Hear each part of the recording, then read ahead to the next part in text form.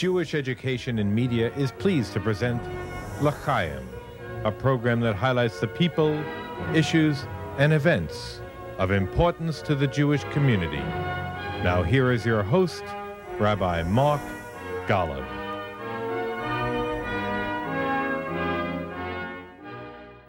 I'm Mark Golub. And in the aftermath of the midterm elections and the sweeping victory of the Republican Party, politics is in the air. The political pendulum, which always swings back and forth in America, seems to have swung to the right. Does it mean anything in particular for American Jewry? Does it mean anything for U.S. relations with the State of Israel? What's it mean in terms of Iran's going nuclear? And how does the Jewish community feel now about President Barack Obama and his relationship with Prime Minister Netanyahu and the State of Israel? These are questions that set the context for this week's roundtable discussion with a panel of exceptional individuals who will be sharing their insights and perspectives on issues that are confronting Jewish life today. Let me introduce them to you. Dr. Steven Bayme is the director of the Contemporary Jewish Life Department of the American Jewish Committee and their Koppelman Institute on American Jewish Israeli Relations. Rabbi Eric Yoffie is immediate past president of the Union for Reform Judaism, and currently Eric is a columnist appearing in the Huffington Post, Haaretz, and the Jerusalem Post. And you can also read Eric's pieces at ericyoffie.com. Betty Ehrenberg is the executive director of the World Jewish Congress for North America. And Dr. Charles Small is the founder and director of ISGAP, the Institute for the Study of Global Anti Semitism and Policy. And Charles is also the Koret Distinguished Scholar at the Hoover Institution of Stanford University. And I thank each of you for joining me. Thank you for joining L'Chayim and JBS and being willing to share your ideas with our audience. I'm most appreciative. Um, so let me tell you what's on my mind, and then I want all of you to just kind of just respond. And it has to do with what I hear almost everywhere I go about the way in which Jews are talking about the American administration in general and Barack Obama in particular in the aftermath of this election. And I'm sure many of you saw Jeffrey Goldberg's recent piece in The Atlantic, which he entitled Crisis in U.S. Israel Relations is Officially Here. And it included the fact that someone at the Obama administration referred to Prime Minister Netanyahu as chicken shit. The Goldberg piece also suggests that perhaps in the upcoming UN uh, UN Security Council session in January, the Obama administration will either refrain from vetoing Palestinian attempts for UN membership or will exercise its veto in return for severe anti settlement resolution that would further isolate, Goldberg says, Israel in the international community. How do you assess President Obama's relationship either to Prime Minister Netanyahu in particular or in general, the administration's view of the state of Israel? Well, clearly the tone between uh, the U.S. administration and Israel has, uh, has uh, shifted for the worse. And in that respect, uh, some of the uh, graphic uh, verbiage that, um, that Goldberg quotes is, is quite disturbing. Uh, if you go past the tone, uh, bear in mind U.S. policy since day one, back in June, June 10, 1967 or whatever is the end of the Six Day War, U.S. policy has been consistent in opposing West Bank settlements. So, in that respect, there's a need for some historical perspective here. The U.S. Israel special relationship, that does go back certainly to the Johnson years, it's had rough spots. Mm-hmm. Whether it was the Carter years, Carter, by the way, very much wanted a, resolution against settlements. He got it, and he was quickly condemned for it. And uh, it was during an election year, and he paid for it. At least he paid for it in terms of the Jewish vote. That's the only time the uh, it's the only time since 1928 that Jews have actually voted against the Democratic candidate, whether it was Reagan or Anderson. Uh, the Carter administration was the only time that happened. The first Bush with loan guarantees, there were also some rough spots. I think what's important for American Jews to realize is that the, um, the forces stabilizing a, uh, a, special relationship between Israel and, and the United States are bipartisan forces. They transcend party politics. We've had problems at times with the left wing of the Democratic Party. We've had problems at times with uh, uh, a more uh, isolationist wing of the Republican Party. But the overall trajectory between the U.S. and Israel has been quite stable mm -hmm. and quite sound for a good many decades. Mm -hmm. I guess I, I, don't want to sound Pollyannish, but uh, I'm still hopeful that um, notwithstanding some rough spots that are ahead, and I think Goldberg has pointed to a couple of them that we should be uh, very, uh, very wary of. And uh, I could do without some of the verbiage on language, and I would prefer a much more positive tone. But um, when, at the end of the day, U.S. Israel relations go beyond personalities and they go beyond party politics. Are you saying, in essence, the tone, while it bothers you, is not really significant? To the tone is disturbing because I would have expected more statesmanship. Um, but uh, in terms of the substance of policy, the question is, will the United States remain Israel's primary friend? And for that, on those grounds, I'm, I'm, uh, I'm sanguine. Okay. Eric, how do you read it? I'm basically in agreement uh, with what Steve says. Uh, I'm someone who feels it really doesn't make that much difference if we have a Republican administration, or if we have a Democratic administration. Uh, there aren't two separate policies. There's one American foreign policy with regards to Israel, and I agree with it, that it's been remarkably consistent now for quite some uh, time. I think that in terms of verbiage, uh, I mean, the adolescent, adolescent insults were just outrageous. And uh, unfortunately, we should remember the verbiage has been on both sides. Um, it has been handled uh, well by the Obama administration in some cases, but uh, at the same time, senior officials in the uh, Israeli government have made a whole series of mistakes on their own. Um, for example? Uh, for example, Ya'alon, uh, the, essentially the, the number two person in the government of Israel, uh, the defense minister. He made, made very unfortunate comments uh, in January about Secretary Kerry, followed up again by additional unfortunate comments uh, in March. Uh, Prime Minister Netanyahu has appeared to interfere in American elections, which uh, is not in Israel's interest. We need to you know, main, maintain bipartisan support. That's not the way to, to do it. Um, but Ya'alon had to apologize. He had to apologize, and his, his apology was a half-hearted apology. Absolutely no reason for that. You simply apologize. You simply apologize. Um, Prime Minister Netanyahu, the night before his meeting with President Obama, had a very public meeting with Sheldon Adelson in New York. And Sheldon, Adelson um, hates the president, sees him as Satan, spent 10 million, tens of millions of dollars to get him uh, defeated. And uh, if, if uh, Prime Minister Netanyahu wants to meet an old friend, that's fine. I don't have any issue with that. Let him do it in the privacy of his hotel suite. Mm -hmm. And uh, not in a very public way. And I, uh, look, I'm, I'm also distressed every time there's a meeting between an Israeli and a um, and uh, an American, there doesn't have to be an announcement of a Jewish settlement. Mm -hmm. uh, you know, that also happened this time. If announcements are to be made, there are a hundred different ways to make those announcements. It is almost as if they're looking to pick a fight. It's simply unnecessary. We have two allies, we share values, we share strategic concerns. Nobody needs to be picking a fight with anybody. And you're afraid Israel picks a fight, a fight with the United States? I think on both sides, the relationship has not been handled well. Differences are best handled behind closed doors. That's how friends act with each other. That's how you resolve differences. You don't do it in a public arena. And what I'm suggesting on both sides, there seems to have been, you know, a lack of awareness that that's how one best proceeds. Okay, Betty, do you agree with what's been said, or you have a different perspective? Um, I feel that uh, I do agree with the fact that there is um, a solid relationship there. No, it doesn't matter who the president is of the United States. It doesn't matter. It doesn't matter who the prime minister is.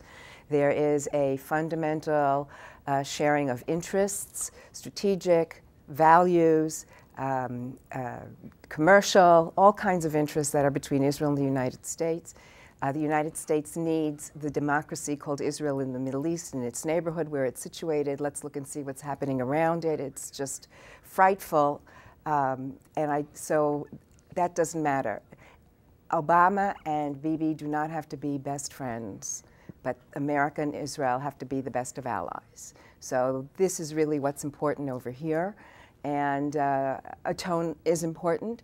Nevertheless, I would take issue with the tone of Jeffrey's article and not call it a crisis. I don't think you have to manufacture a crisis, and I think that's not helpful to anybody. It's not helpful to the United States nor Israel, and it only uh, uh, makes uh, our common enemies happy. So I don't think it's a crisis. I think that, first of all, um, we need to be careful about what we call settlements and not settlements.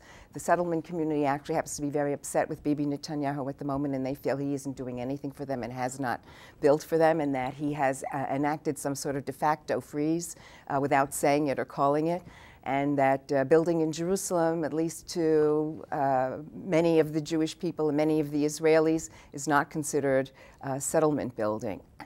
Nevertheless, uh, yes, I think it would be good if on both sides they would tone down uh, uh, uh rhetoric and tone down uh, the uh, heat. But I think that I think what that does do is undermine at least the to public opinion or in the public and makes to, and it makes it seem as though there is a rift between the two countries. I don't think there is basically a rift between the two countries. I think congressional support for Israel is solid. I think if you look at all the polls, popular support for Israel is solid.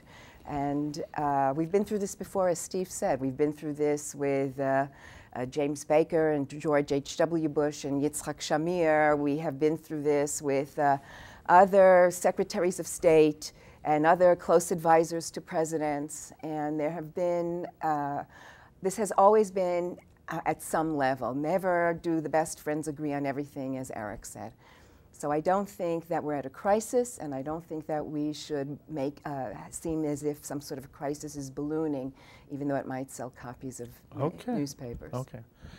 Well, Charles, do you see it the same way or slightly differently? I think I see it slightly differently. Um, I would say that if a president of the United States, a previous president of the United States, called, for example, an African leader a piece of, I don't even know if I can say it on television, mm -hmm. but a mm-hmm. piece of you know what, I think there'd be a public outcry and, a serious backlash. And that person who said those disgusting words would have been called on the mat and dismissed publicly. And that has not happened. He's been protected or she's been protected um, by the administration. And I think that's um, a very ugly message and we can read it and debate it in one way, but that message is also being projected around the world, to the Middle East and to Europe. And I think our standing as a community is uh, in a very ugly way diminished. And I think we have to see what's happening not just domestically but internationally. And I think this type of um, sort of framing the Jewish community and Jewish power in a certain way uh, is having an effect internationally. Mm -hmm. um, and I think that has been sort of consistent. This is not just a one-off uh, problem.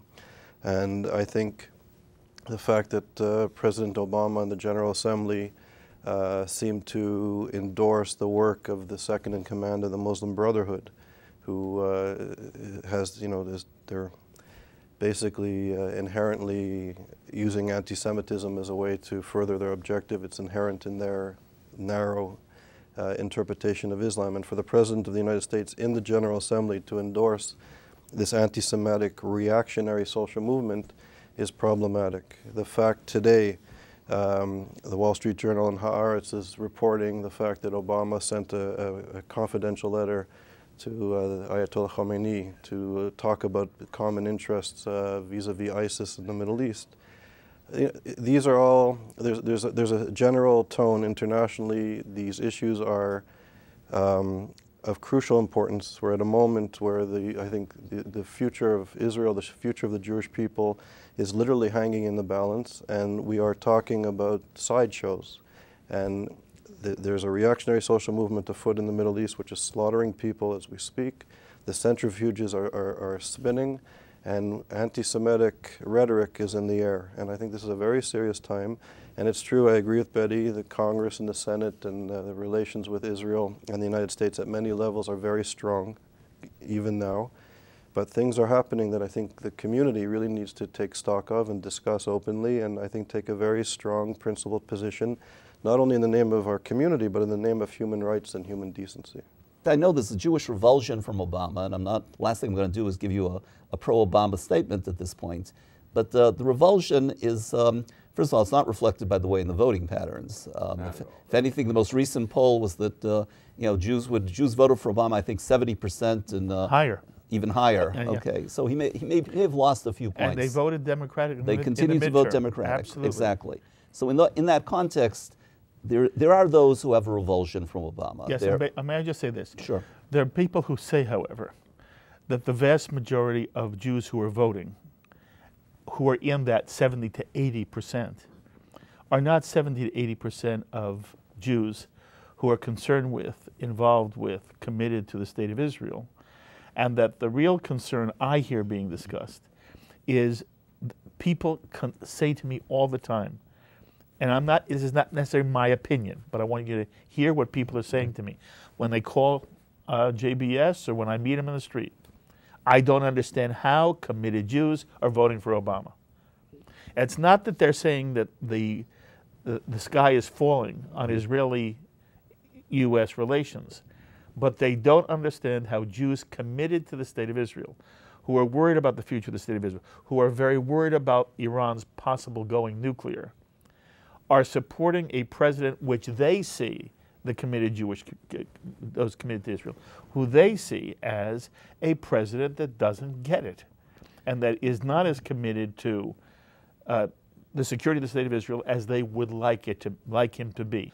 What we're concerned with now, the Jews tell me, is what's going to happen in the next year and two years, in the next two years of, of President Obama's uh, stay here. And when you read Goldberg saying, you know, I, I'm not so sure that the Obama administration is committed to a veto in the UN Security Council. And if I hear people say, are really settlements really what the issue are is that is keeping peace from the Middle East? And if that's the focus, is it the correct focus? So my question for you is, as you, you know, you're about as, as committed both to the Jewish tradition and Israel as anybody I've ever spoken to. It's from your perspective, not the 80% of Jews, most of whom aren't really in this discussion, that I want to hear how you view it. And I, I, I appreciate that your, your side side, trying to, you know, say the sky isn't falling. And yet at the same time, I don't want you, as you say, to be Pollyanna about it. I want as much of your hard analysis, Steve, as you can give me. The hard analysis is that the, uh, the bases for U.S. support for Israel are fourfold. Uh, number one, the sense that Israel remains a, a fellow democracy. Number two, that America is a fundamentally religious country. And in being a fundamentally re- religious country, it sees Israel as the fulfillment of biblical values. Number three, the fact is, throughout Israel's history, including up to today, and you mentioned, alluded to before, Israel and the United States have faced common foes. And number four, most critically to me, is yes, the vigilance, the pressure, the uh, intensive involvement of a vibrant Jewish community that wants to keep the United States and Israel in as, on a, as even a keel and as close, as close a line as possible. Perhaps what's most distressing to me in terms of uh, yesterday's elections, one poll I saw, may not be definitive, is that uh, only 8% of American Jews regarded Israel as one of the two key issues on which they would cast their ballots. Mm-hmm. 0% regarded Iranian a nuclear bomb as being an issue. In that respect, my, my real concern is that when American Jews stop caring about these issues, that's when you see U.S. Israel relations go south. Okay, I, I'm almost done, then I'll go to Sure. Are you telling me that basically you're not concerned that the Obama administration would take a stand in the UN harmful to Israel? You're not concerned about that. I didn't say that. I said, I said we if ha- you are we- concerned, I want to hear it. Are you concerned? I think it's, it's a definite possibility, and it will be uh, along the lines of the sort of things we weathered during the Carter years. Are you uh, and are you worried that the Obama administration will accept a deal with Iran that will in fact be bad for no, Israel? It's no question I'm concerned about that. Okay, yes. you have now identified the two most critical issues. There, this has nothing to do with Congress and the United States and Israel. This has to do with the areas in which the American administration has a unique power. And that's what people are focusing on. It's not about whether, in, in some global way, Israel and the United States will stop being friends. No one's worried about that.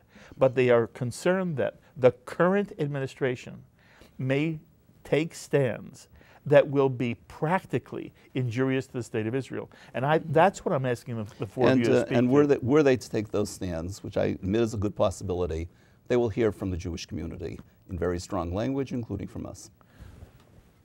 Anything you want to add? I think we have to be very careful not to demonize President Obama or his administration. I don't think it contributes uh, to the conversation. And I, I have to. I also think we have to be careful about playing games with numbers.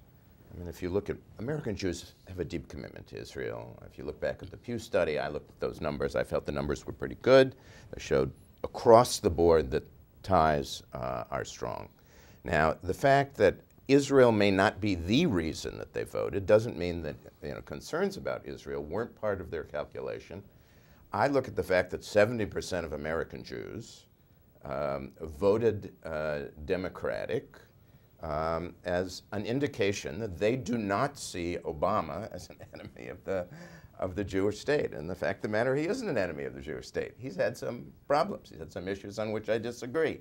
I think on strategic and military questions, he's been superb, probably better than, than uh, any of his uh, predecessors. And um, look, I, I, I, think if you, if you look at the big question, to me, the big question is Iran. Uh, Iran presents uh, a short term, potentially existential danger to Israel's existence. Uh, so that's what I worry about most. And I also happen to think at this moment that uh, a number of things that uh, need to happen. I think American Jews need to be more engaged. This election was not about foreign policy. Iran was barely mentioned. And I also think that the state of Israel could be helpful here by some priority setting, meaning Iran is essential to their future. Issues of settlement and building in Jerusalem, I agree it's not settlement, it's building, Thank you. are not essential, are not existential issues at this particular moment for the, the state of Israel. I think it would be helpful for Israel's government in order to strengthen relations with an ally whose support is needed on Iran to make some concessions when it comes to these other areas in order to accede to the American request to lower the temperature Okay. on And Israeli would Palestinian how would a concerns. concession express itself? What kind of concession? I think it would be easy for the government of Israel and for the United States, without going into details, to work out an agreement in terms of what was acceptable and what was not in terms of settlement. Settlement building within the bloc, but not outside the bloc. Some system of coordination and cooperation where the, that the Americans would know what would be done and they would have their input. I don't think we have to work out the details here. But right now, with Israeli elections coming, and that's, that's key. Let's not forget that. Much of what's happened in the last number of weeks is motivated by electoral concerns, which are always part of the picture. We're not naive here. But at a certain point, the common good has to transcend the immediate electoral concerns. My fear is that uh, settlement issues are going to overwhelm the agenda, with the impact being that on truly essential issues such as Iran, they're going to get pushed aside when they really need to be given priority. In priority Israel. uh, in Israel and in relations between Israel and uh, the United Okay. States. I want to ask you the same questions I asked Steve. Do you worry that this administration would do something in the UN injurious to Israel? My primary worry is Iran, which is not essentially a UN issue. So um, Palestinian statehood. I think there's some reasons for concern there. Um, and, and I think you know we need to watch that. I think we need to be sending a message to the American administration. I think we also need to ask the Israelis to cooperate on a settlement policy that has been disastrous for Israel in world opinion, that is not supported by anybody, and that every administration, Republican and Democratic, going back for the you know to, for the last 20 or 30 years, has opposed. Okay, and the other thing is, do you worry that the Obama administration will not take the proper stand on Iran? I am concerned about that. Yes, I, I- I think that needs to be our first priority right now. Mm-hmm. So far, both of you have said yes to both concerns. You've heard what Eric and Steve have to say. Anything at all? And then I'm asking you the same question. Are you concerned that the Obama administration may take a stand inside the Security Council injurious to Israel? Do you worry that the Obama administration will not take the appropriate stand against a nuclear Iran? I think it would be so out of turn, it would be so out of character for the United States to take uh, a stand in the, in the Security Council injurious to Israel.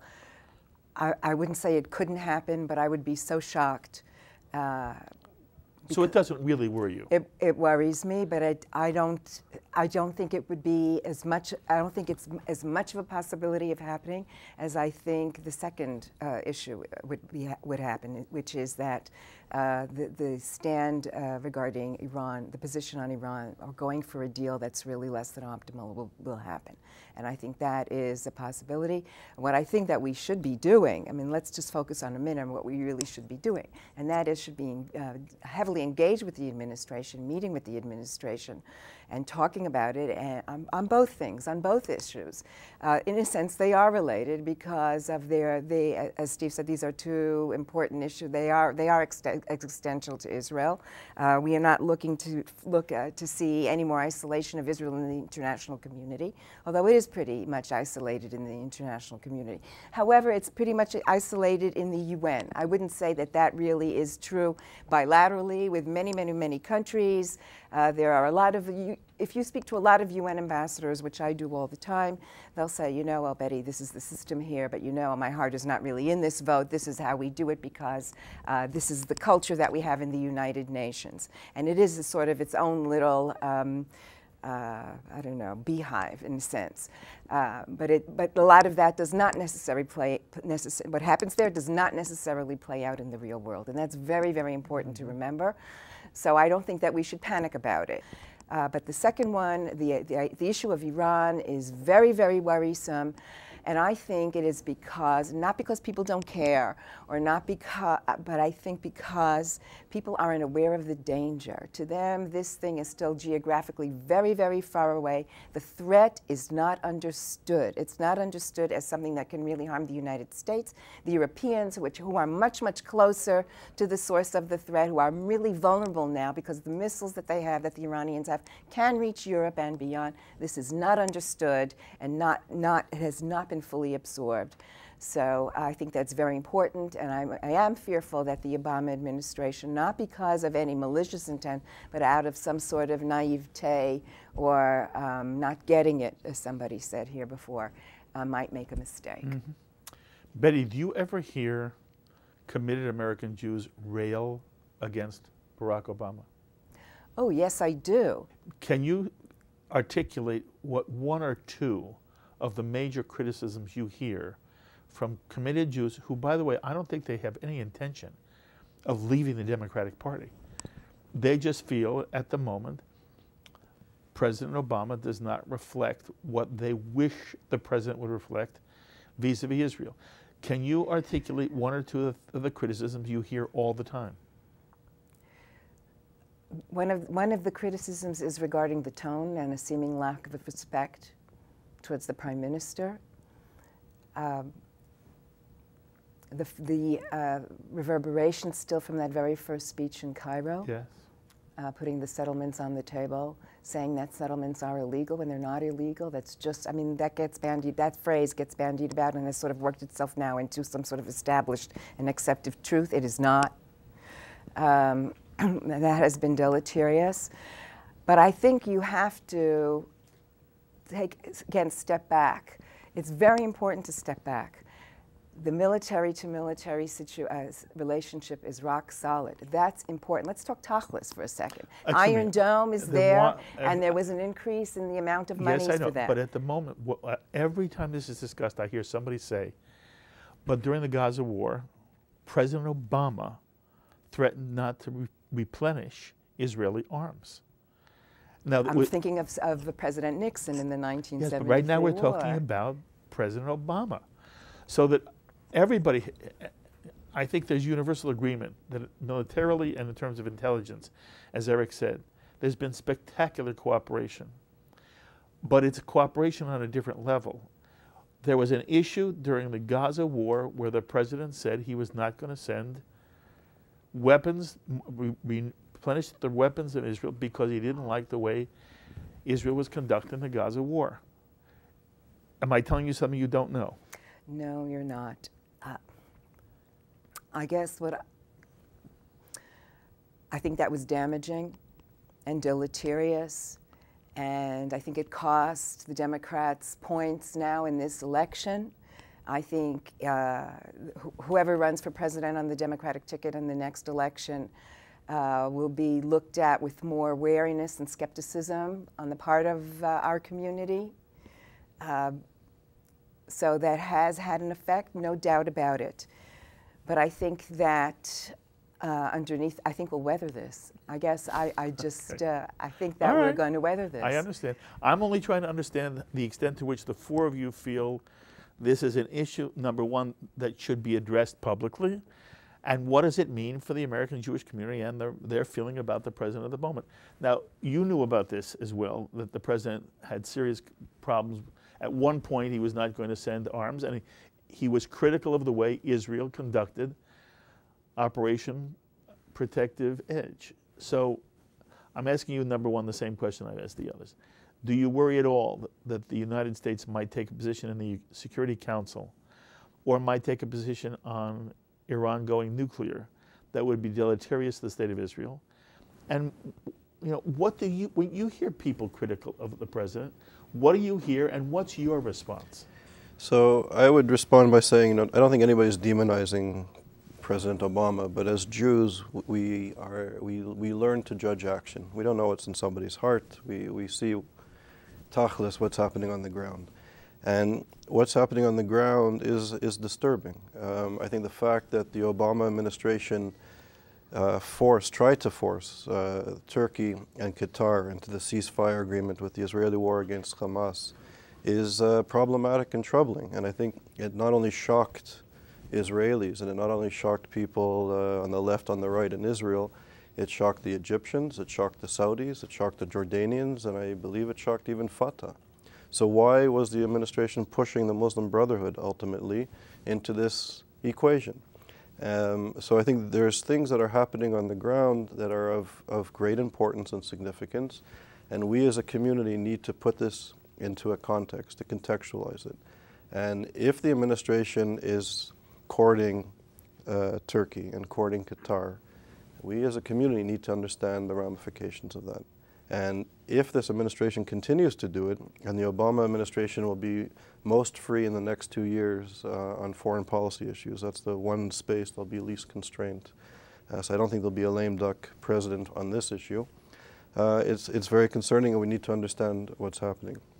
And I think the fact that we are sitting here on November the 6th and we are not certain what the administration is going to do vis-a-vis Iran, a couple of weeks away from the from the deadline, while the centrifuges continue to spin, and the sanctions sanc- the sanctions regime has been weakened in recent months, I think it's profoundly troubling, and I think the chicken shit reference to that was sort of um, ridiculing the prime minister of the Jewish state on such a sensitive issue, kind of making fun of him.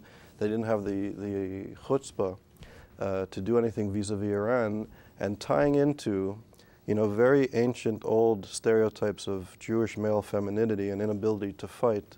I, I find that really extraordinarily disgusting, especially at this moment in history. And I think these are very serious issues that we need to discuss openly and, and, and, um, and without any reservations, not to demonize anybody, but to talk about reality and context and what are we going to do as a community. What do you think?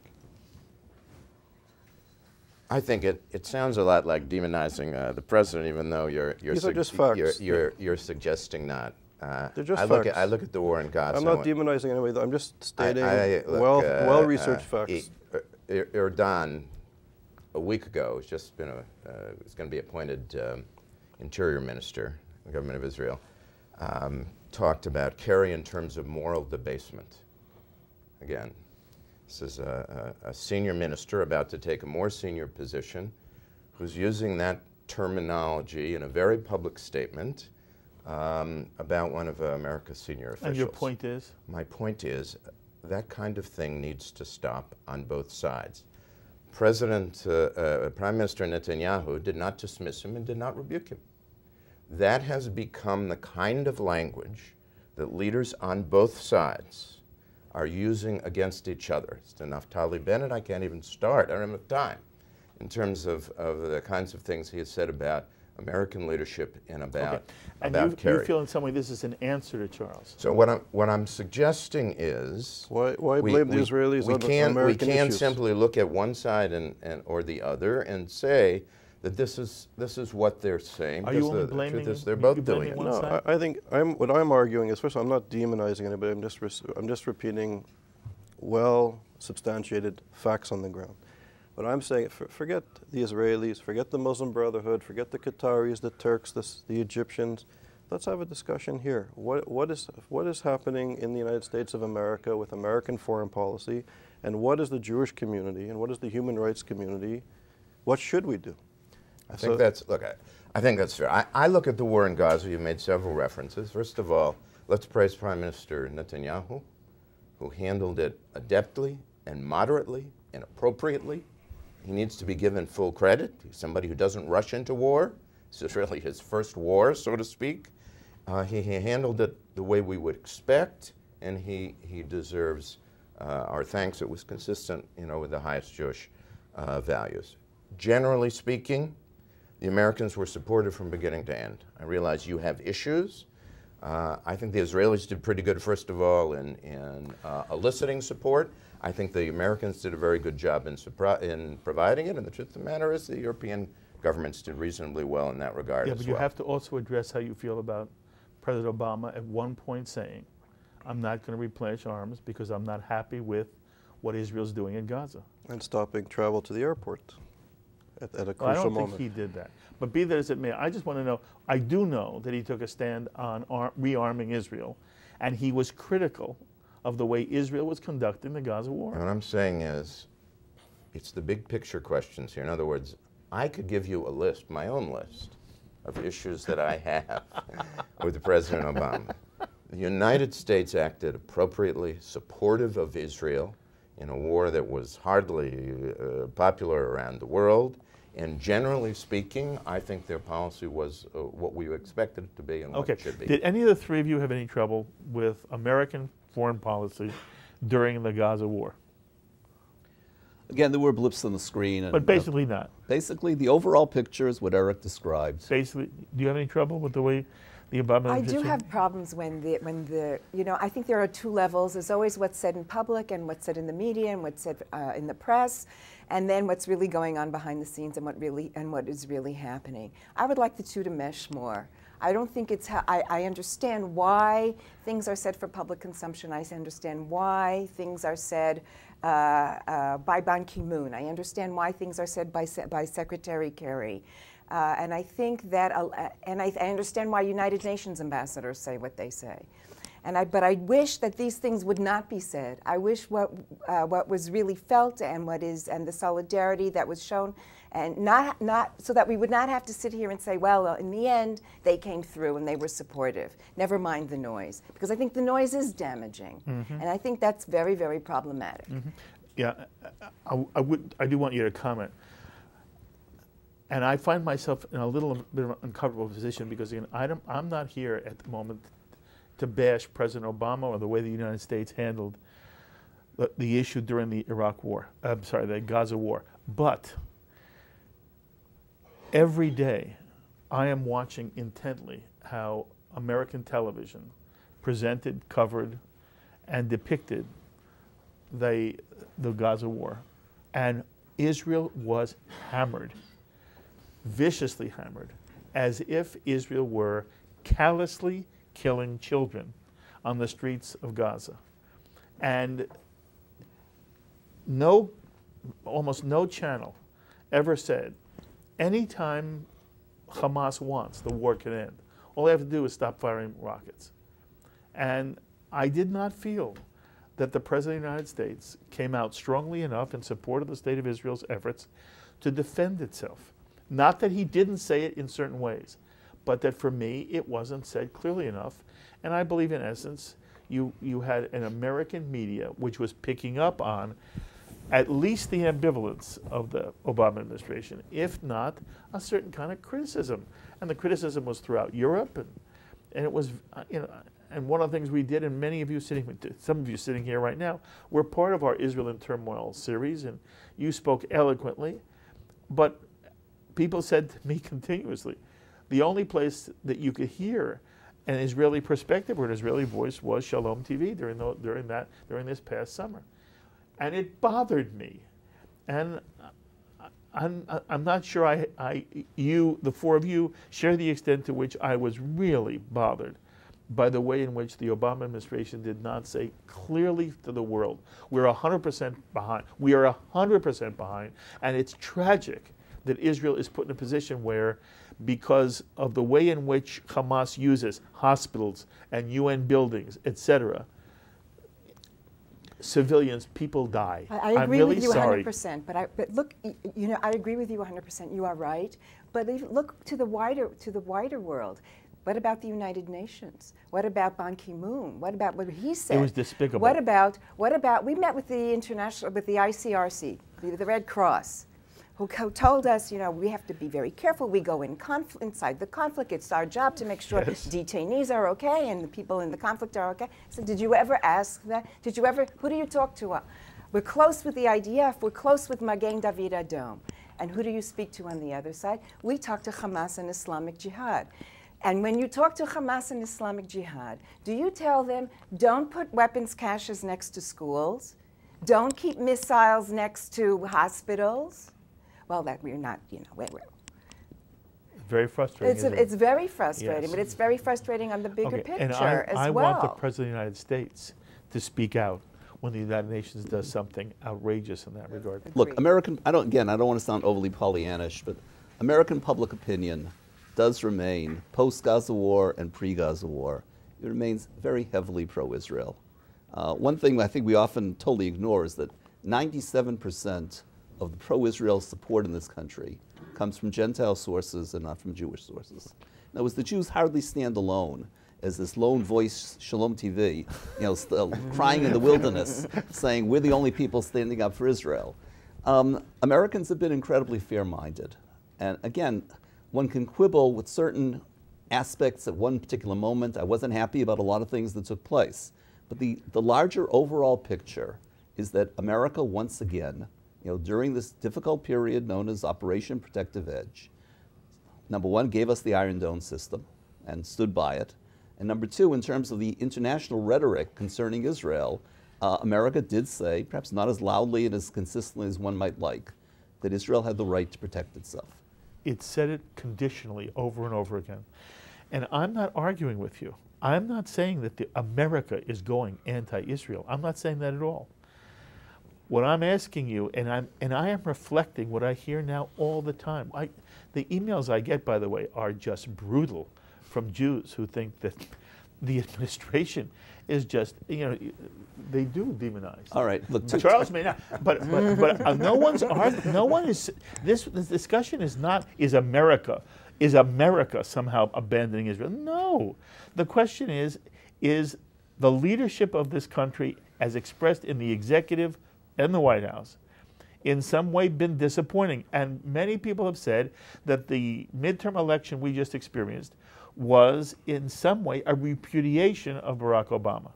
And so one of the things that I wanted to hear the four of you talk about is how do you feel the Jewish community is, is responding to Obama? And again, I'm also responding to emails that I get, and it's not necessarily this is what, my, what I think. And you know, I, I think not enough credit is given to the administration for the extent to which, again, as Eric said, both militarily and in terms of intelligence, there's been superb cooperation. Not only that, the Jewish community was very upset when, we, when, when Hagel was appointed. Hagel turns out to be a pretty good guy for Israel. So lo and behold, I think there's a lot to say. But at the same point, I'm hearing all the time just vicious criticism okay. of him. Um, and and I'm, I'm saying that I feel that it, that should it should be understood and addressed. And and. I, and I and I um, last thing, and then I'll okay. stop. Very often, and the audience has to understand this. Very often, you know, what you're hearing here is a discussion from, of four individuals who are basically left or right of center. I have no crazies here. There are crazies.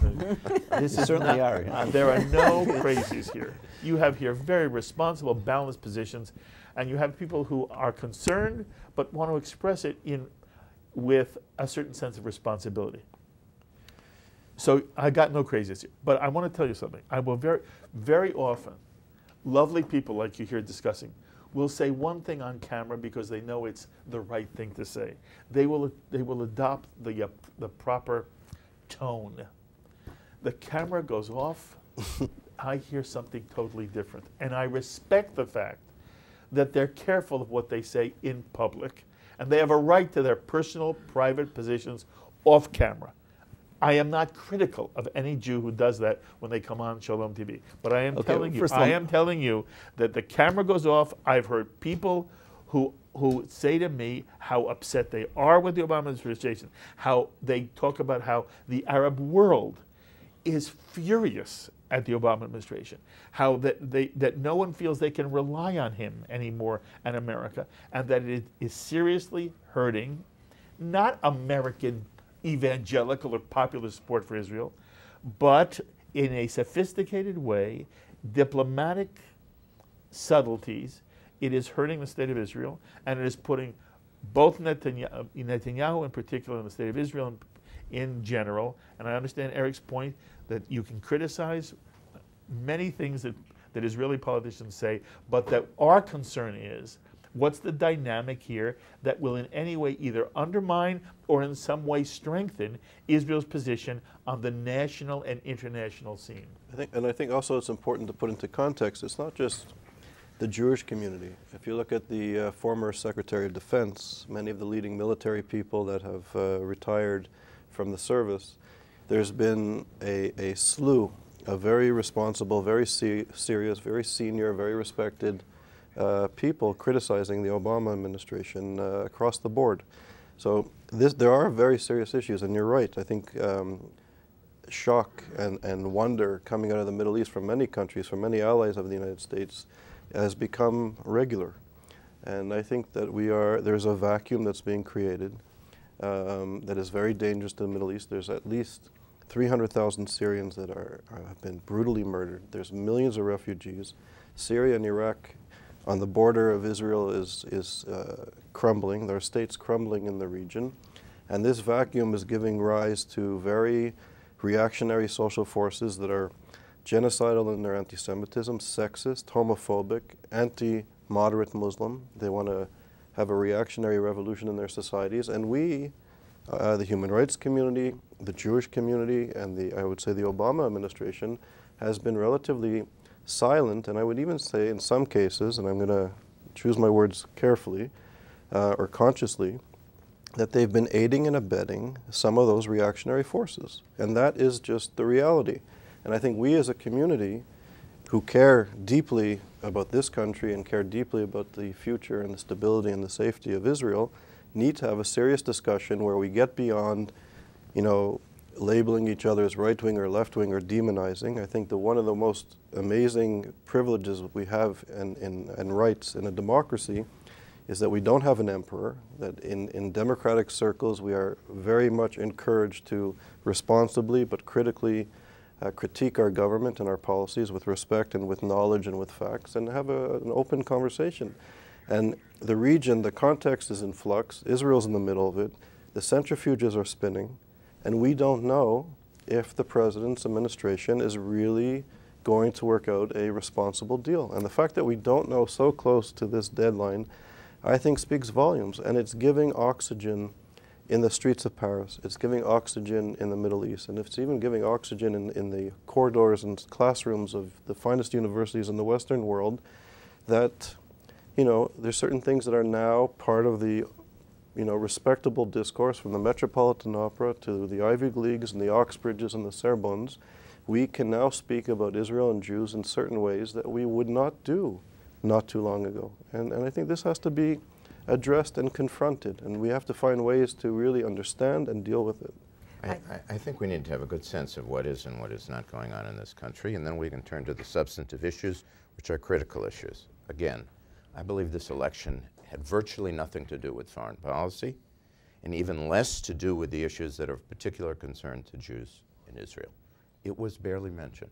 I mean, there were some anti Obama sound bites uh, about the Islamic State, and there were general issues of competence, which are appropriate issues, by the way, to be raised. It was not a foreign policy election. Um, the Republican Party had virtually nothing to say. Did they offer a clear alternative on a range of these issues? The answer is absolutely not. And in fact, uh, a major concern that I have as somebody who's sort of committed to an activist stance uh, around the world is what's happening in the Republican Party. Uh, you know, Rand Paul was a fringe candidate two years ago that I would have said we don't even have to talk about it. Uh, it's entirely possible that he could go to the Republican convention and emerge with 25% of the vote and uh, be a very significant force in terms of shaping the platform and, and that kind of thing. Uh, evangelicals, white Protestant evangelicals, are decreasing in number. Just a major study, it came out in the Atlantic. Very interesting numbers, distressing for us because they are the most enthusiastic supporters of Israel who exist in the country. Their numbers are going down. We see that, the Republicans see that. Uh, there is no groundswell here among the American people on you know, a range of these issues. That's distressing. It's the fact. Um, so we, we need to be clear about that. Let's not assume the Americans are in an uproar because of what Obama is not doing about things that we care very deeply about, but we're not on the agenda of this election. But I think we have to be careful of, of something else. I mean, I, I, I agree that there are trends in the Republican Party as well that we have to be concerned about. I think there, uh, and all the substantive issues that Charles raised are really foremost on our agenda. But I think we have to be very careful about manufacturing crises and uh, inflame, inflaming uh, situations because that will not allow us to be engaged. You have to be engaged with the administration, you have to be engaged with the elected officials, and you have to uh, keep that up without allowing some certain things that are really uh, side issues to derail to derail us. And and what's driving your concern? And what would you like the you know I, all the people who are watching you right now and listening to you right now, what are you telling them don't let what become a crisis? Don't let chicken blind uh, get get you hysterical, and don't let uh, uh, moral debasement and such kinds of uh, throwback language back and forth, because that's not what this is about. Mm-hmm. That's not what this is about. Mm-hmm. What's important uh, is Iran and the existential threat to Israel and Europe and more. What is important is the terrifying, the horrifyingly. Uh, um, uh, rise in uh, the fundamentalism and extremism that is affecting, that is threatening to Jews, Christians, Baha'i, everybody who isn't them, who are not uh, the extremists themselves, and the fact that uh, people are not understanding the threats that they really pose. Mm-hmm. That's what's really, we're allowing ourselves, or there are too many people allowing themselves to be derailed by the minor issue, the tafel, and they're ignoring the ikar, or what's really important. Mm-hmm. The fact, uh, Eric is correct in saying the, the election was fought on domestic issues. Personally, I find that somewhat dismaying. Uh, in other words, these foreign policy issues really are of great significance. Most elections are fought on domestic issues, and that's a comment about America, Americans' awareness of foreign policy issues. What concerns me uh, in terms of specific ramifications of it is to what extent will America abandon her internationalist role? Which in mm-hmm. turn has ramifications mm-hmm. for the Middle East. Mm-hmm. In terms of the Jewish community, though, and this is where I think we, we probably have failed, is that um, if you look at what our agenda has been in terms of Jewish communal life over the last, uh, the last four years, we have tried to make these issues to be front and center, whether it's Iran, whether it's terrorism, and not even from a Jewish point of view. From Human point of exact, exactly. We seem to have failed in doing that. Now, this leads me, though, to this issue that of how does one relate to the Obama administration? First of all, in fairness, we've, we've all said we're not demonizing, and we're not. There are sectors of the Jewish world that are demonizing. Some of them are sectors of the media, frankly, Mark, and uh, some of your colleagues. Uh, uh, other sectors. Yes, but just make sure you're not including me in this. Absolutely, absolutely not. Absolutely not. Right. But there are sec- there are sec- I've I've seen the imagery Obama's a thug on Jewish newspapers. Okay, I've seen the imagery of, of his uh, standing as if he's got a, a, you know, a cigarette in his mouth and looking as if he uh, you know, was basically part of a, a lineup. That, that really is demonization. One hears it, and you can hear it in sectors of the Jewish world. Um, that concerns me in terms of how we relate to these issues as a whole. The real challenge, though, and I think this is where Charles was sort of putting his finger on it, is that uh, will the Jewish, responsible Jewish leadership, the responsible Jewish community, hold the administration accountable when it does things that seem to be veering off uh, the path that it should be that it should be doing so. Say that again. The, the criticism leveled at Jewish organizations, which, which I do hear, Yes. is that all too often we will parrot the administration line. Yes. Now, the greatness of America is that it allows enormous leeway for the exercise of collective minority politics. And the role of Jewish organizations is precisely is that when the administration, regardless of whether it's Democratic or Republican, because we really are nonpartisan on these things, uh, when the administration does things that we feel are injurious, either to, as I say, America's international posture, or in terms of what we see as being the interests of uh, Israel, the Middle East, and American Jewry, we need to be outspoken about that. we could go down that. Uh, th- we- we could just discuss this for a period of time, but I want to make sure I get one more point in. We have be talking right now about the extent to which there are American Jews who may be uncomfortable with President Obama. We know that anybody who doesn't understand the extent to which there is criticism all the time, self criticism in the state of Israel, just doesn't know Israel.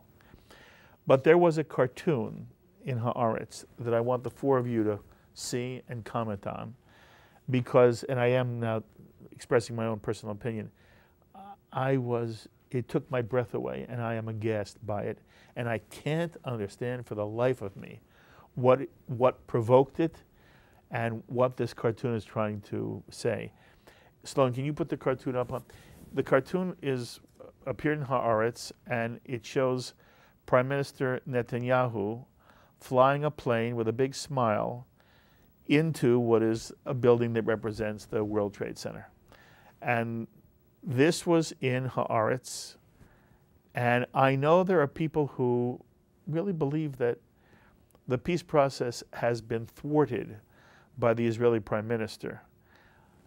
And that there are people who come on JBS all the time and tell me that really Mahmoud Abbas is the one who is in favor of a two state solution, and that Prime Minister Netanyahu really is not, and he's held hostage by his own, the right wing of his own party, and that he can't do what he needs to do, and that he will always find a way to stop the process from happening.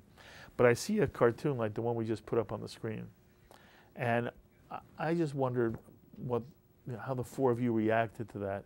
When you see that kind of cartoon, what what are your what are your thoughts? I, I don't understand it at all. You It's really, it's, no, I agree with you. It's really, uh, it, it feeds into the, first of all, it's, it's demonizing. It's demonizing. It's equating Prime Minister Netanyahu with, with uh, the terrorists. It's just outrageous. And it's, uh, I, I don't understand it at all, that kind of cartoon. Um, and um, it again puts the blame uh, on uh, it puts the blame on Israel in trying to show that um, well because there isn't progress in the peace process it's somehow Israel's fault. And not only is it Israel's fault but then all the other problems that we have related to the Middle East uh, it is the source of all the other problems related to the Middle East and that is uh, something that we have that we are we counter daily. We hear this all the time. We hear it from Europeans from the European Union from different countries. Yes well but you see the problem is the there's no progress in the peace talks and the Obama and the uh, Netanyahu blah blah blah whatever it is it's always somehow blaming this for all the other ills. And this feeds into it. Never mind that it's personally hateful uh, which is uh, I, I don't quite understand why they use this cartoon What's your reaction to it? I agree with Betty. That simple. okay. What's your reaction to it? Um, in 1996, when, uh, when Netanyahu was elected the first time, I believe he was elected on a Tuesday, the Friday after the election, uh, Israeli intellectual and author Amos Oz, one of the most respected of Israeli intellectuals, he took to the pages of the New York Times for an op ed piece which he called The Triumph of Israel's Dark Side. Now, again, notwithstanding my enormous respect for Oz, and I've read many things by him, both political and literary, this was exactly the kind of demonization of Israeli politics that really is unacceptable. It's a free country, it's democratic elections. You can vote for one party, vote for another party, vote for a third party, too many parties to vote for. But you can't start saying that the person gets elected by, by a, a, um, a democratic vote ought to be demonized. What I think the cartoon was doing, it's no secret Haaretz does not like the prime minister, and we didn't need the cartoon to tell us that. What they were trying to say, I think, which I have heard in, uh, in, recent, uh, in recent months from other Israeli intellectuals, uh, is that uh, they feel the Prime Minister and the United States, number one, is on a collision, are on a collision course, and that was the, the point of the, uh, the airplane. That um, uh, number two, they really do feel that um, the Prime Minister pays lip service to a two state solution, but doesn't really want it. Mm-hmm. My response to that is very simple. Um, is that the reality is, is that he has not been tested, meaning that if you're serious about a two state solution, come to the table, let's negotiate what that means, and let's negotiate how we can best implement it. Instead of that, there's been every excuse possible not to show up at the table. So that while the Prime Minister has um, undertaken different policies that one can uh, agree with or disagree with, I don't think we have room for demonization. Um, so in that respect, the cartoon is outrageous, but uh, again, it's no secret Haaretz doesn't like him. There are post-Zionist intellectuals who really feel Israel's future is being part of the Middle East, as opposed to being a, a pro-Western liberal democratic government. And in that respect, they see Netanyahu's alignment with the, with the West as being detrimental to Israel's future. Mm-hmm. Again, I, I hear that. I think it's limited to a very small group of post-Zionist intellectuals, but oftentimes they have access to Israel's leading media, such as Haaretz. Well, first of all, as someone who writes for Haaretz, but Look, because I, you I, write for it, you don't represent I do it. not represent right. that. And um, in some ways, I find myself on the conservative side, which is an interesting place for me to be, looking back over my, my past history. Look, it is possible, having listened to what Steve says, to to offer a centrist critique of Netanyahu that I think goes beyond what, what he just said, that doesn't demonize, but simply raises questions about the policies yes, that he's undertaking. But is it reflected in the cartoon? No, it is not. Okay, I want to come back to then, that point in one moment. Just your reaction to the cartoon. So I, I agree with much of what was said here, and I, um, I generally think we have, the context is there's this reactionary social movement that does not accept the other, that is gaining more and more power in the Middle East in this new vacuum that has been created. And there's a tendency uh, in the West and even among the Jewish, within the Jewish community, to sort of blame the Jews or to blame certain types of Jews or certain types of Israelis for the failure of the peace process. And I'm reminded of the words of Emmanuel Levinas, the great Jewish philosopher who brought ethics into the uh, university philosophy departments. And he argued, based on Talmudic thought and Jewish ethics, that we become human the moment we see our, ourselves or our, our face in the face of the other. That's the instant we become human. And this social movement does not see Jews and many other others as human. I mean, we are, they, they argue we emanate from the urine of donkeys and we're descendants of apes and pigs and we need to be removed and we're the cause of all sorts of problems.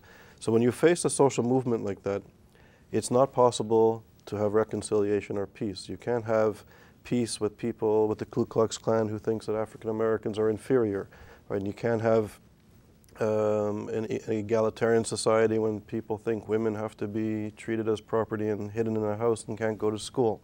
So when but what's that got to do with the cartoon? Because I think this reflects in, in the cartoon the sort of the putting the onus and putting the blame, as people do in certain discourses, public political discourses, the failure of the peace process on the stubborn Jews, on the stubborn Israelis. If only the Israelis and the stubborn Jews will change, there'll be the end of jihadism and terror, and there will be, you know, international world redemption. And I think some on the left, a minority of the left, so a minority of the minority, tend to demonize people like Sheldon Adelson and, and Prime Minister Netanyahu in that way without maybe facing the, the, the more profound challenges of the region okay. that we find ourselves. So the five of us really find the cartoon despicable. But then I did want to ask you the question that you were heading towards.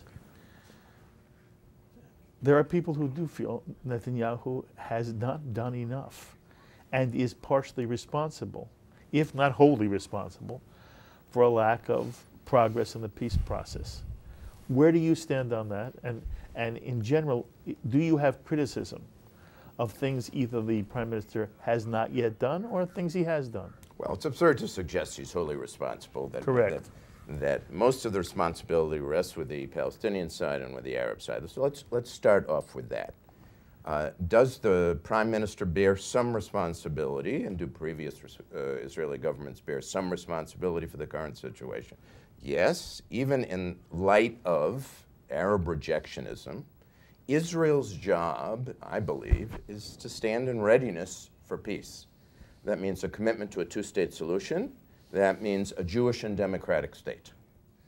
And uh, the fact of the matter is, if you continue to settle beyond the settlement blocks, uh, which is what's been happening in Israel for the last 20 years, I mean, the number of settlers outside of the settlement blocks was about 35,000 in the early 1990s, and it's about 120,000 today.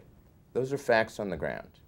And what that means is a two state solution um, may indeed become impossible, and a Jewish and democratic state, which is the heart of Zionism, to which I'm committed, I believe we're all committed, uh, will then be fatally undermined.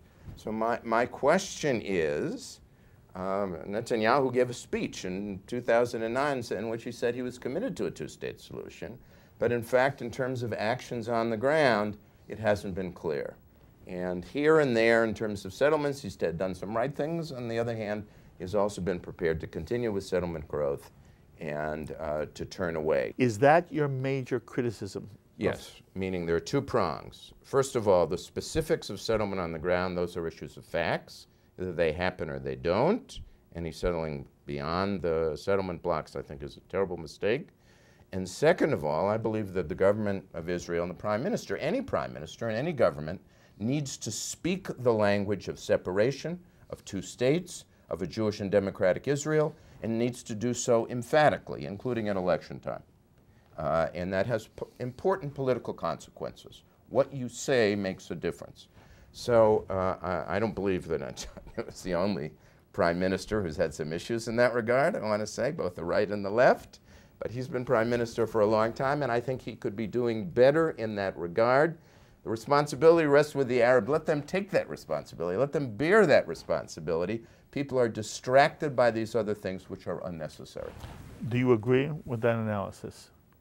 I, I agree with large parts, portions of it. Really, two points. Um, number one, the great transformation in Israeli politics and polity of the last 25 years, since, since 1993, last 22 years, has been the, uh, the movement towards a consensus behind a two state solution as essential for Israel's future as a, as a democracy and as a Jewish state.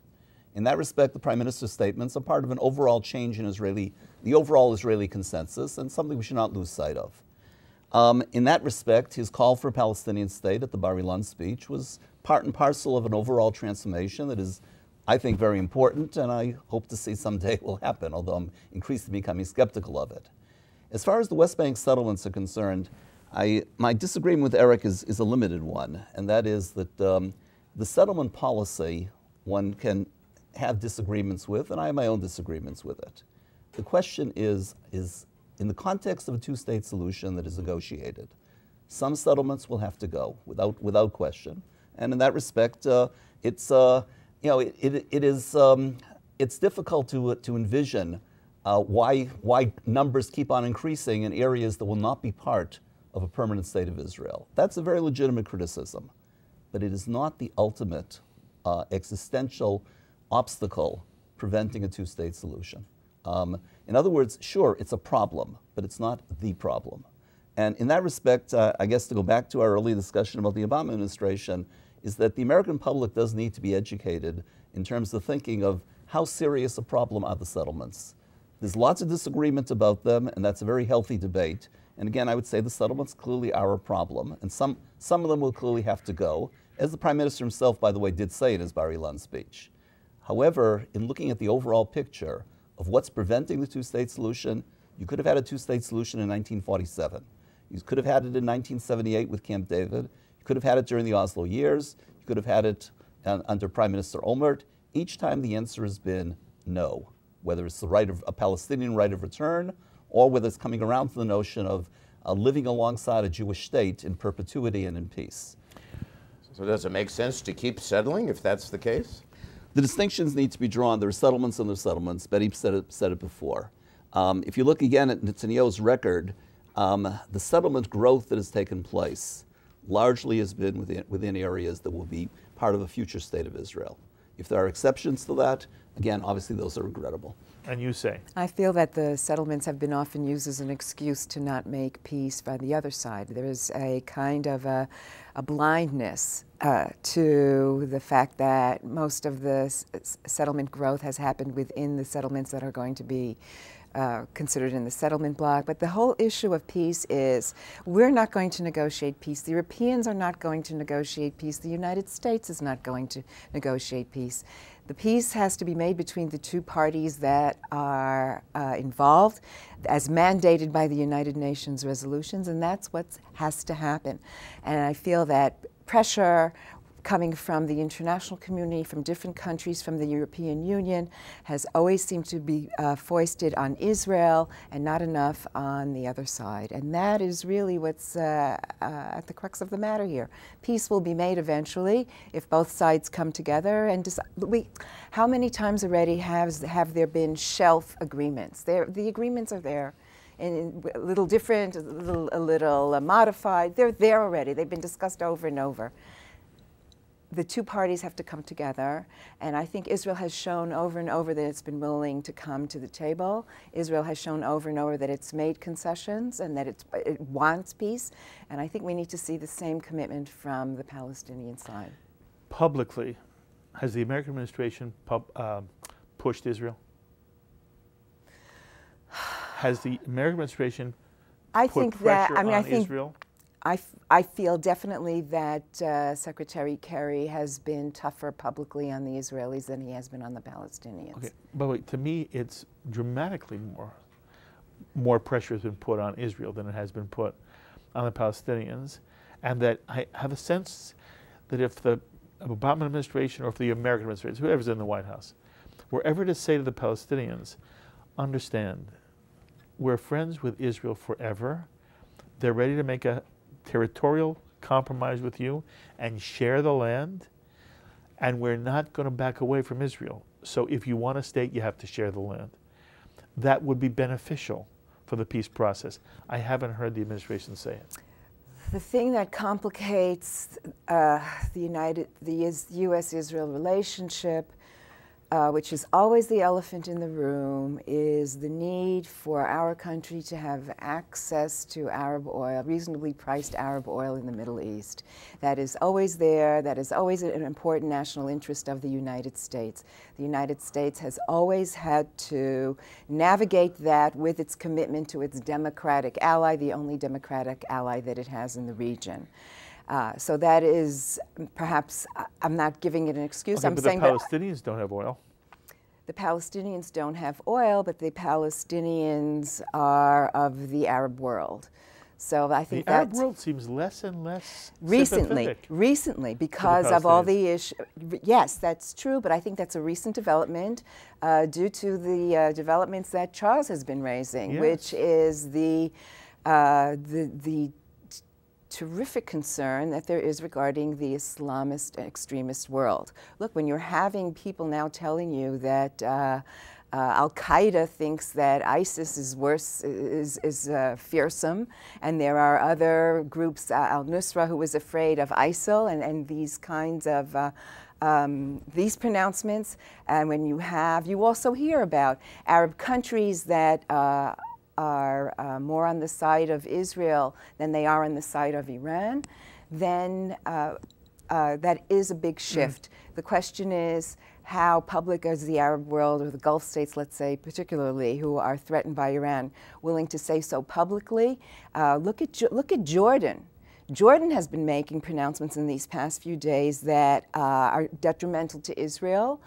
Jordan is, be, is, uh, is, is in existence today because of the backing that it gets from the Israeli government, which is also quiet. Still, this is the backstreet girl of the Jordanian-Israeli relationship. We can't talk about it. Um, Jordan is threatened by an overwhelming number of Syrian refugees that have uh, uh, come there, and uh, which are a big destabilizing factor.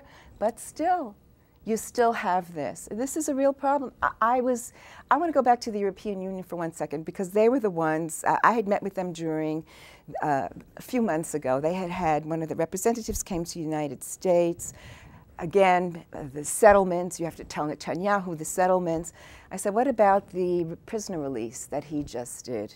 Uh, what about that? That got no recognition in the international press. That got no, I didn't hear any thanks from the United States, from the Palestinians, from the Arab world. What about that? Or from the European Union. We don't care about that. We care about, the, it's about the territory and the settlements. The prisoner release was a terrible idea. Well, It was a terrible idea. Why would you release murderers? this was a demand. This was a demand No, it wasn't a demand. The United States said you have a choice. You can stop settlements or you can release terrorists. And for internal political reason, they released murderers.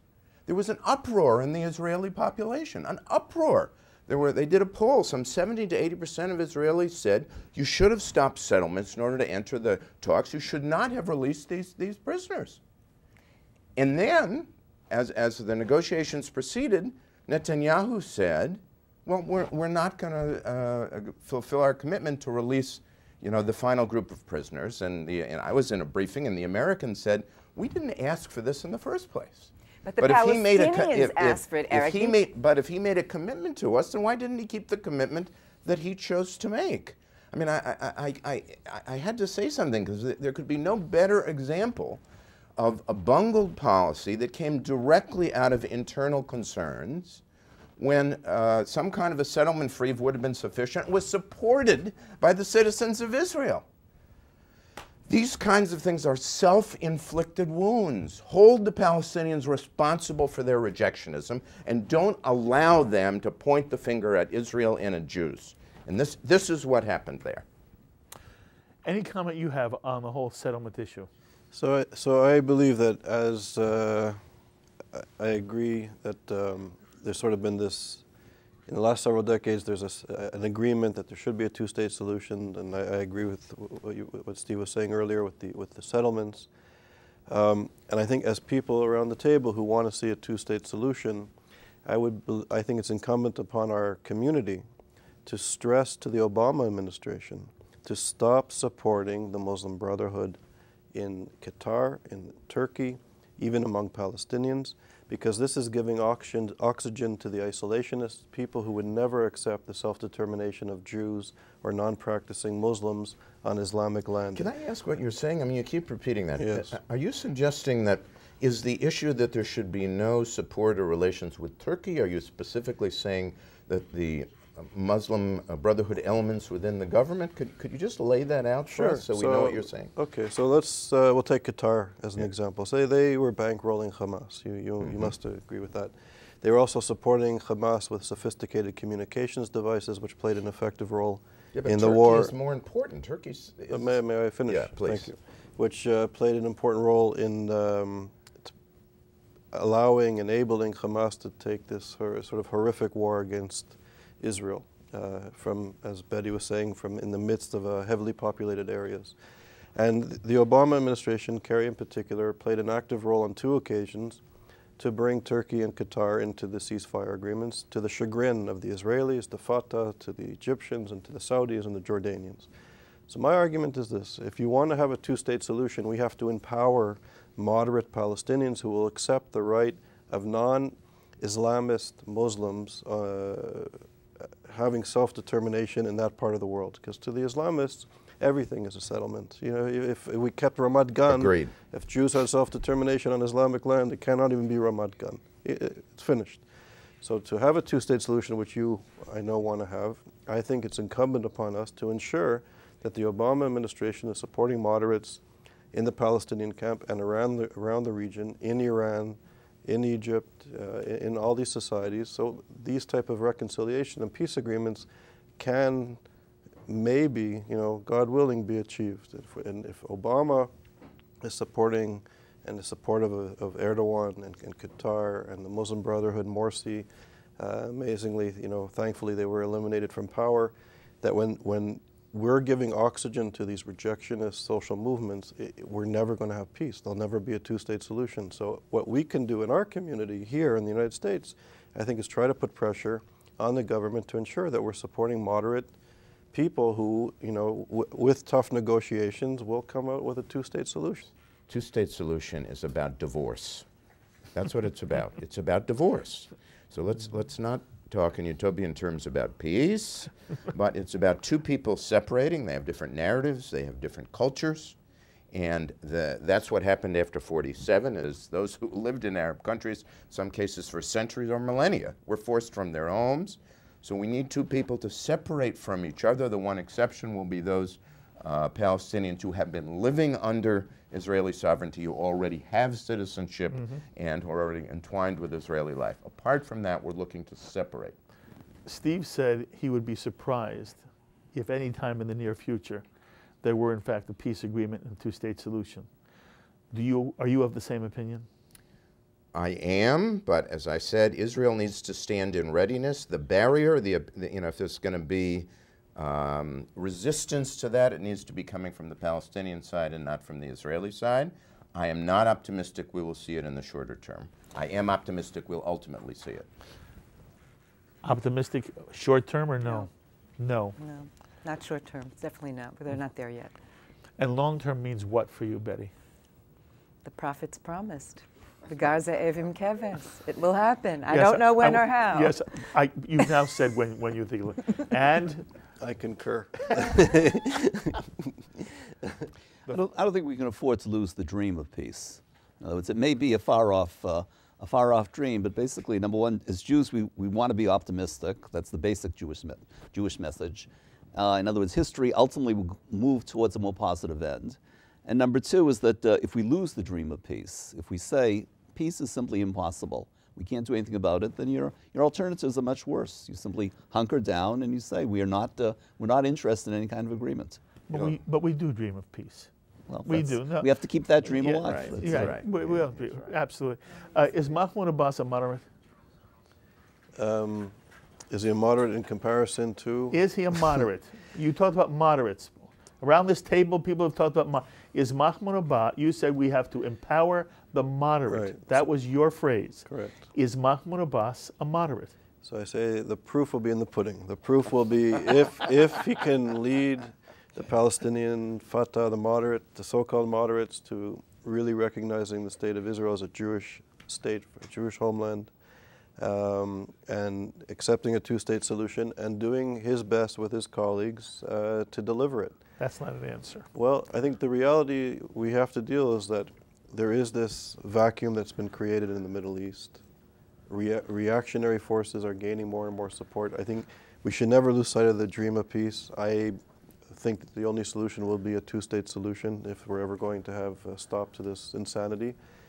But we have to recognize that those who are assuming more and more power in the region, and taking over more and more mosques in the world, and taking over more and more governments in the world, are rejectionists. They have a very narrow view of Islam, a, a very derogatory view of the other, and they'll never. This will. Ne- this reactionary movement will never accept the sovereignty or the self-determination of anybody oth- other than themselves, who- who are different than themselves, including the Jews and the Israelis. And we have to recognize that reality. And whether we're nice to them or not nice to them, they have a well thought out, deep philosophical, religious, political, and military worldview. And we have to take them very serious. We have to read them, engage them, understand them, and deal with that Okay, emerging I want our audience to make sure they understand. Are you describing Mahmoud Abbas? Mahmoud Abbas come, the Fatah comes from the, that root. The Muslim Brotherhood, uh, there's a strong connection between Fatah and the Muslim Brotherhood. Of course, there's a stronger connection between Hamas and the Mother, Muslim Brotherhood. Um, but Arafat and Abbas came from that route, and they claim that they are moderate and they you know, believe in modernization and modern nation states, and that they can do a deal. I hope they can. I, I, do I believe it? you know, Jews, we judge actions. I hope they'll be the actions of peace. I love these people. you know, um, you should understand they're at this table because I love them. And I could listen to them all day long and all night long. I thank you, Steve and Betty, Charles and Eric. Thank you so much for spending so much time and, and being willing to, you know, bat ideas back and forth. Uh, I am putting an artificial close only because of the clock. We must continue. You have to promise you'll come back. You're promising. Thank you so, so much. Thank you. I hope you've enjoyed hearing the ideas of Steven Bayme, Eric Yoffie, Betty Ehrenberg, and Charles Small. And that they've caused you to think a little bit about your own perspectives. As always, I invite you to be in touch with me with any thoughts or comments you may have of your own. Please email me, write me, post on our Facebook wall, tweet me. I look forward to hearing from you. Until the next time, I'm Mark Golub. L'chaim, my friends, to life.